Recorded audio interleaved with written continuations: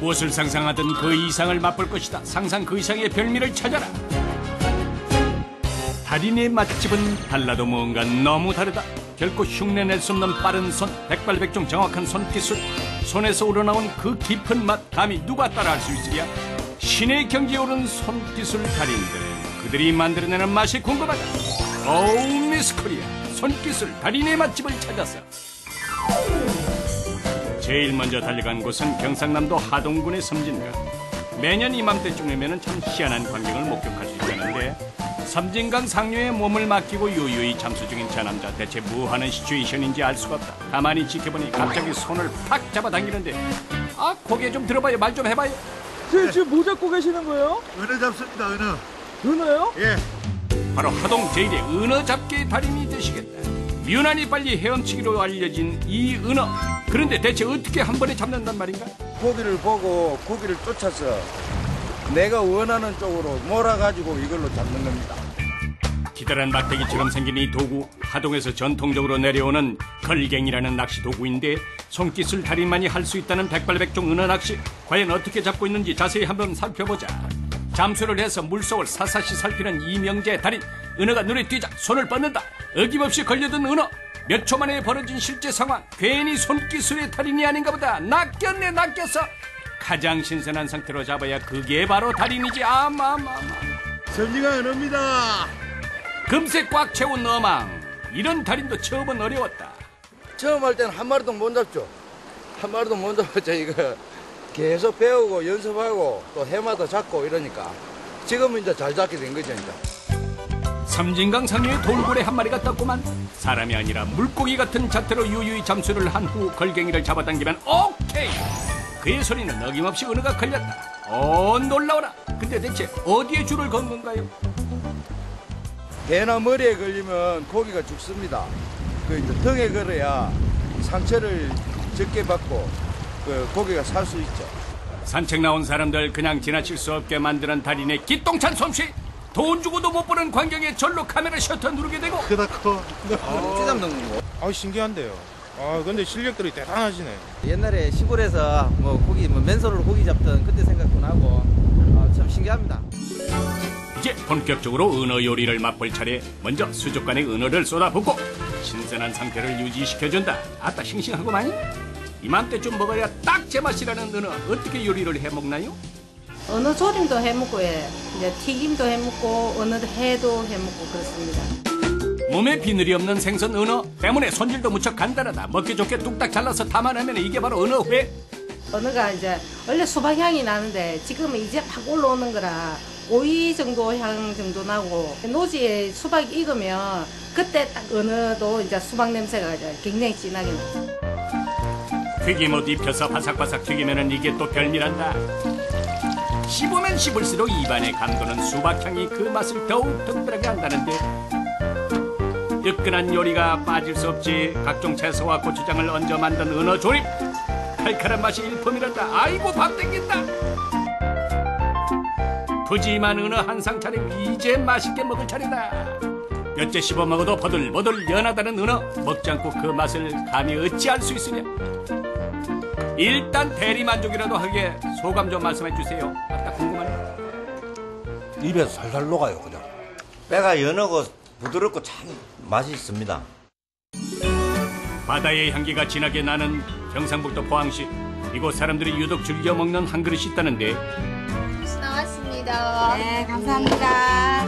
바로 온 국민이 사랑하는 면 요리 잔치국수 되시겠다. 호로록 짭짭 정신없이 면발을 흡입하고 있는 사람들. 그 맛이 어떻게 먹기만 열중하고 있는 걸까? 아따 좋다. 국수 맛이 좋네요. 소문 듣고 하는데 소문대로 좀 맛있어요. 맛있고 부드럽고 그래요. 요거 해풍에 말린 이 국수니까. 옆에 할매. 할머니 구식방에서 할머니가 구식 뽑아갖고 일로 배달해가서 합는다 카대. 할머니가요? 네, 할머니가 하던데. 그렇다면 그 할머니가 바로 또 다른 손기술의 달인? 당장 만나러 달려가란다. 제일 먼저 반기 준 것은 끝이 안 보이게 걸려있는 국수 면발들. 할머니 대체 어디 계시는 거예요?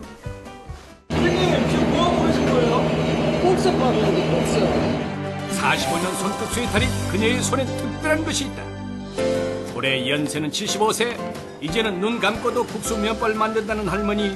소금물, 밀가루 세 가지만 가지고 반죽을 한다는데 계량기 필요 없죠?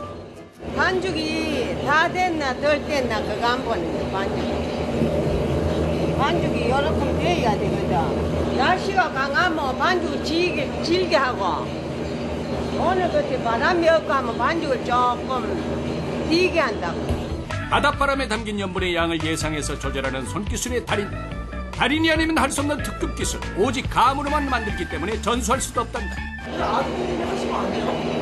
안, 어, 안 되지 안 주고 안 되지 나는 어? 45년 기험자고 여는 초보자니까 앉아 내가 했을 때하고 엄마가 했을 때 이래 만져보면 제가 이래 제가 이래 느껴봐고 만져보면 조금은 달라요. 이게 엄마 45년 이 손끝 감각 이거를 무시를 못 하겠더라고. 모두 다 할머니 손끝 감각으로 만든다고 손을 보니 그 45년의 세월이 고스란히 느껴진다.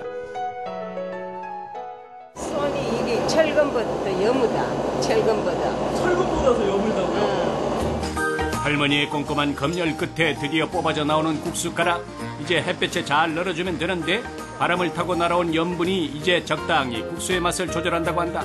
국수를 넣을 때도 할머니의 손 감각이 엄청나게 중요하다고 하는데 간격이 일정하지 않으면 바람이 세게 불 때 국수 가락이 망가지기 쉽다고. 마치 자로 정확하게 간격을 잰 듯 가지런히 늘린 국수 장관이다 장관이야. 햇빛에 태양을 얻고 말르면 바다 염분 바람카 국수가 좋은 그렇게 완성된 달인의 국수, 그 국수를 구입하기 위해서 전국에서 몰려든 사람들. 아 맛이 좋아가지고 오늘 왔는데 인당 두 개도밖에 안 파네요. 예, 국수가 맛있고 쫄깃쫄깃하고 다른 데보다 맛이, 맛이 좋아가지고. 할머니표 국수는 국물을 담아도 깨끗함을 유지하는 게 특징. 맑은 국물과 쫄깃한 면발이 만나서 최고의 맛을 만든다. 한번 먹으면 멈출 수 없게 만드는 면발의 유혹. 매콤한 회국수로 즐겨도 그 맛이 그만이라는데 시원한 국물과 고명이 만나서 색다른 맛을 느낄 수 있다. 아 시원하겠다. 전국 유일한 손기술 달인의 해풍국수. 그 맛은 과연 어떨까? 아이고 나도 먹고 싶다. 아, 대박입니다, 대박. 쫄깃쫄깃하면서 식감이 착착 입에 감깁니다. 이번에 또 어떤 손기술 달인이 우리를 기다리고 있을까? 손님들이 길게 줄져 있는 걸 보니 기대 만발. 기다려도 먹을 만큼 맛이 있어요. 하하, 이곳은 뷔페? 모든 음식을 매장에서 직접 조리해 신선하게 즐길 수 있다는데 그런데 손기술의 달인은 어디 있나요? 아하, 여기 있나 보다. 뭐 보고 계신 거예요? 참치 보잖아요, 참치. 어이? 참치? 손님들 시선이 몰린 곳을 보니 왕참치가 먼저 눈에 띈다. 참치를 해체하기 시작하는데 통참치인데요. 오늘 자주 오시는 손님, 손님분들한테 통으로 썰어, 썰어 드리려고 오늘 준비했습니다. 이분이 바로 참치 해체의 달인이시겠다. 자, 이제 참치 해체하겠습니다. 예. 통참치의 횟감 부위를 구별하는 것은 고도로 훈련된 전문가가 아니면 힘든 일이라는데 칼을 들어서 망설임 없이 참치 해체를 시작하는 달인. 큰 참치는 유독 팔 힘이 많이 들어간다고 한다. 지금 자르고 있는 건 어떤 부위인가요? 뱃살 부위고 이쪽이 등살이고 이제 꼬리살 부위. 맛있겠다. 받으세요. 너무 커가지고 깜짝 놀랐어요. 이렇게 큰지 몰랐어요, 참치가. 참치 해체하는 거는 처음 봤거든요. 참 신기하고 좋네요. 보다시피 참치는 좀 크잖아요. 그래서 일반 화로보다는 그래도 힘이 많이 들어갔죠. 달인에게 굳은 살은 표창처럼 항상 따라다닌다. 수십 년 연습을 하며 손바닥 곳곳에 상할 날이 없었다는데 아무래도 큰 생산이기 때문에 식물을 이제 무리하게 줬을 경우 이렇게 엇나가서 다칠 경우도 있습니다. 어, 집에 가져가. 아이고 농담도 잘하시오. 입으로 뜯어먹는 참치야말로 통참치 해체할 때만 누릴 수 있는 특권. 그런데 이 통참치를 잘라주는 이유가 있나요? 음식이란 거는 물론 혀로 입으로 드시는 거지만은 또 눈으로 이제 보여주는 것도 중요하잖아요. 신선한 걸 보여드리면서 어떤 또 오감을 이렇게 더 이제 자극할 수 있어서 그런 부분 때문에 이거 하는 거죠. 참치 부위 중에는 가장 이제 맛있다는 이제 뱃살. 배꼽살이라고 합니다. 배꼽. 25% 전후의 지방질을 함유하고 있어서 유독 부드러운 뱃살. 갓 해체해서 더욱 신선한 참치 뱃살의 맛은 과연 어떨까? 즉석에서 바로 먹어서 더 맛있겠구만. 누가 맛 좀 얘기해봐요. 되게 구수하고 맛있는데 직접 이렇게 카빙해서 주시니까 훨씬 더 맛이 사는 것 같아요. 이제 어들미, 이 머리 손질해 드리 통참치를 해체할 때만 볼 수 있다는 머리 손질.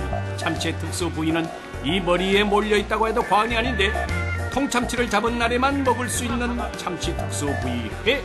거기에 참치 뱃살로 초밥까지 만들어 즐기니 오늘 입이 진짜 호강한다. 방금 해체한 참치 맛이야 안 들어도 최고겠지만 아 그래도 궁금하다 부럽다 부러워. 참치가 그렇게 큰 것도 처음 봤는데 그걸 정말 회를 떠갖고 이렇게 손님들한테 나간다는 게 아, 정말 대단한 것 같아요. 오랜 세월 갈고 닦은 화려한 손기술.